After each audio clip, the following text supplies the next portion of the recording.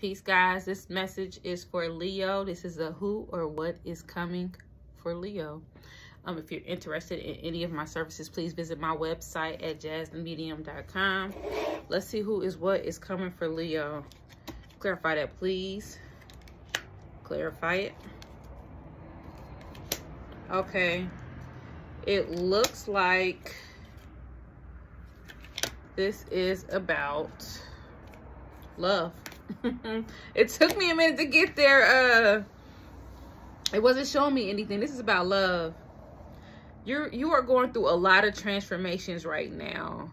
Please give me more of an indicator of what in love is coming. When it comes to love, Leo, you've been through it a little bit. You know what I mean? Like you've had some good times, you had some bad times, but it's something that wasn't working out for you. So you're trying to manifest something different in regards to love. Um, the the thing about you leo is that your perception is starting to change. So how you may have viewed one person at one time is not necessarily how you're viewing them anymore.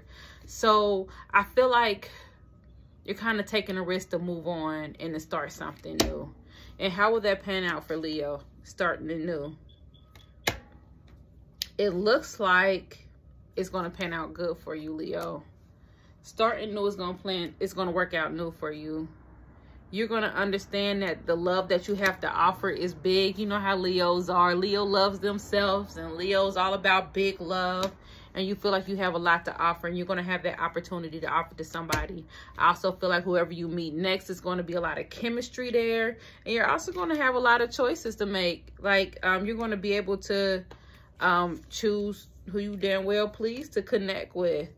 Let me check out any signs that Leo could be connecting with next. Any signs that Leo could be connecting with next.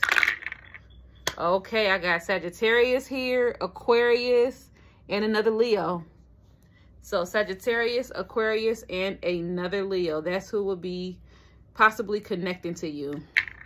Peace.